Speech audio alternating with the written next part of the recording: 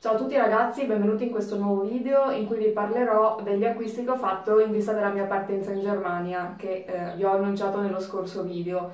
In realtà non vi farò vedere i vestiti che ho acquistato perché non sono quel tipo di persona, ma vi farò vedere gli acquisti magari più relativi appunto alla mia esperienza di viaggio e che potrebbero tornarmi utili anche una volta in Germania.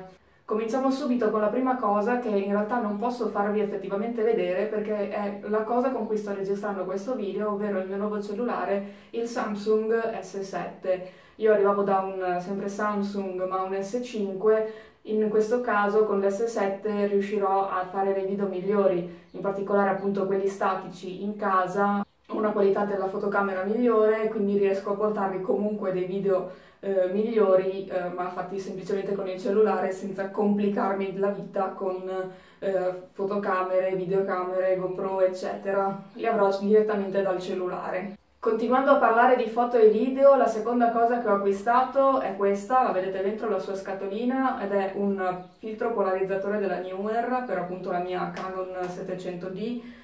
È da un po' che ce l'ho la Canon e non ho mai acquistato nessun accessorio, nemmeno degli obiettivi che vadano eh, a sostituire l'obiettivo kit. Quindi ho pensato di fare un piccolo investimento e appunto vedete il, il filtro polarizzatore che va un pochino a cambiare la luce che entra dall'obiettivo, che è utile soprattutto in giornate eh, particolarmente soleggiate. Eh, vi ricordo comunque che in descrizione trovate il link al, da Amazon di tutti gli oggetti che ho acquistato, peraltro li ho comprati tutti da lì, quindi se volete dargli un'occhiata per vedere un pochino meglio le specifiche, eh, andate a dare un'occhiata appunto in descrizione, trovate direttamente il link che vi porta al, ad Amazon. Terzo oggetto è un indispensabile per chi viaggia e mancava nel mio kit da viaggiatrice ed è questa, la bilancia per, pesa per pesare le valigie leggerissima, presa peraltro in sconto, è molto spesso in sconto, quindi magari dateci comunque un'occhiata. Appunto, inserite la valigia e eh, chiudete la, la cinghia in questo modo e poi and sollevando andate a pesare.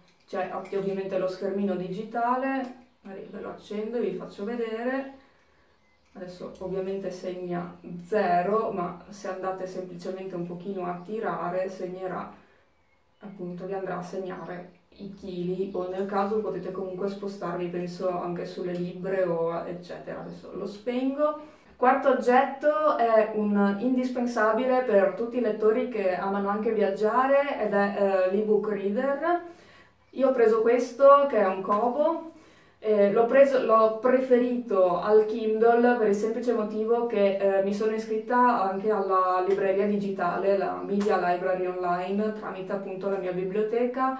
E eh, quando l'ho fatto mi hanno detto non prenderti il Kindle perché no, supporta solo determinati tipi di formati e non l'EPUB con cui puoi scaricarti appunto gratuitamente e prendere tra virgolette in prestito eh, i eh, libri su questa Media Library su questa appunto biblioteca digitale e quindi eh, avresti una scelta molto ristretta di libri rispetto se prendi un altro e-reader che appunto supporta il formato EPUB. Quindi questo è semplicemente il motivo per cui ho preso il Kobo al posto del Kindle. Non penso che faccia una grossa differenza, per me la discriminante è stata proprio questa che vi ho spiegato. Con l'arrivo del Kobo è arrivato ovviamente l'ennesimo cavetto di ricarica, quindi ho deciso di prendere questo che si chiama Pro Case, è disponibile in vari colori, io ho scelto questo perché mi sembrava un pochino più eh, in linea con quello che piace a me. Vi faccio vedere come all'interno. Ci sono già alcuni oggetti, eh, alcuni cavetti, avete due tasche con la retina, una chiavetta e altre cosine, qui avete un po' di elastici in cui infilare i cavetti, qui appunto ne vedete alcuni e qui ci sono delle retine se avete qualche cavetto un pochino più sottile Qui avete delle tasche, io ci ho infilato l'adattatore da presa muro USB e qui avete un'altra tasca con cerniera.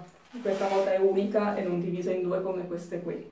Io lo trovo molto comodo se dovete andare in giro appunto eh, in viaggio e avete bisogno di tanti cavi di ricarica eccetera questo qui è davvero un ottimo acquisto peraltro potete anche non metterci dentro dei cavi ma magari eh, pensavo magari a prodotti di make up qualche matita, pennelli, eccetera, che magari e farvi, tra virgolette, il vostro set personale da soli.